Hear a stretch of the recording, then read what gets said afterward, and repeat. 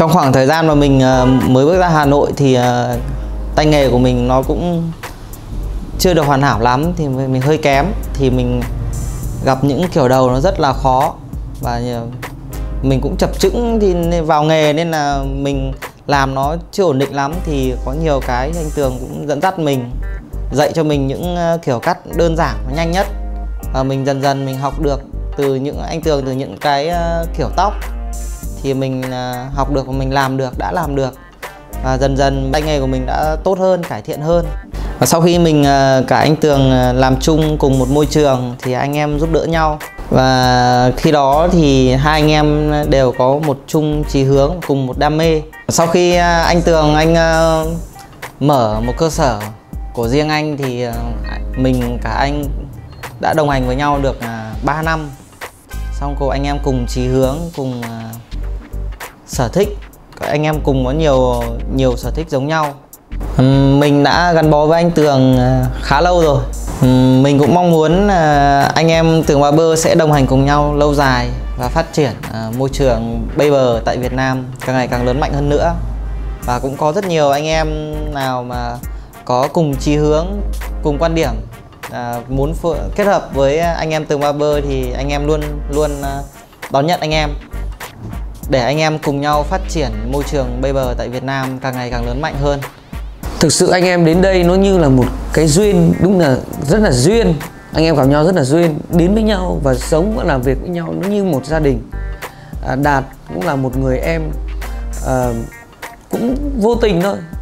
Hôm đó thì mình cũng đang làm việc tại một quán tóc nam ở Nguyễn An Ninh. Thì hôm đó thì đang ngồi thì đạt vào xin việc. Thì đầu tiên thì đúng là thực sự là anh em gặp nhau thì cũng chưa chưa quen biết nhau đâu. À, một hai ngày đạt đến làm việc ở đó thì mình thấy thực sự đạt là một người rất là hiền lành rất là hiền lành và rất là chăm chỉ. Thì thực sự là rất là quý anh em rất là quý nhau. Thế thì anh em làm với nhau lâu dài một thời gian thì đạt cũng mới làm cũng mới đến đó làm. Thì thực sự là lúc mới đến làm ấy thì tay nghề ai cũng rất là yếu thậm chí kể cả bản thân mình.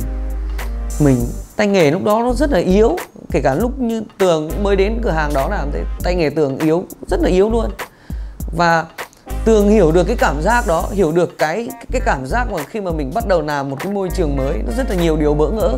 Và cái tay nghề của mình nó yếu ấy, thì mình hiểu được cái khó khăn đấy, hiểu được cái khó khăn trong nghề là mình cần sự giúp đỡ, cần một ai đó hướng cho mình, rồi dẫn dắt cho mình, chỉ lối cho mình thì thực sự là mình hiểu được cái cảm giác đó rồi.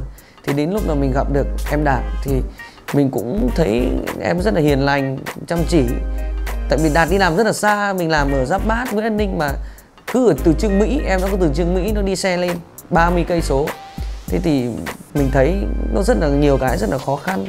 Thế là mình với khuyên em đó về đấy ở cùng với nhau, thì hai anh em ở cùng với nhau thì đã giúp đỡ, mình đã giúp đỡ em đó và hai anh em giúp đỡ nhau trong cái công việc đến tận ngày hôm nay thì thực sự là mình cũng rất là cảm ơn chỉ biết nói lời cảm ơn tất cả những anh em đã có mặt tại trong cái cửa hàng trong cái gia đình của tường.